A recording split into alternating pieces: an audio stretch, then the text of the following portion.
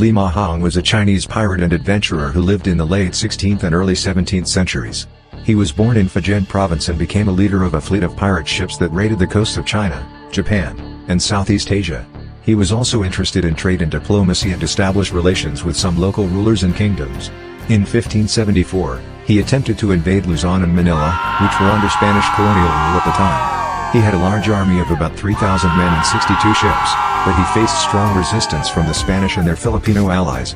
He managed to capture some towns and villages, but he failed to take Manila, the capital city, which was defended by a small force of Spanish soldiers and volunteers led by Governor-General Guido de Lavezaris. He retreated to Pangasinan province, where he tried to establish a base and recruit more followers, but he was pursued by the Spanish and their allies. He was eventually defeated and killed in a naval battle near the mouth of the Agno River in November 1574. His death marked the end of his pirate career and his ambition to conquer Luzon and Manila.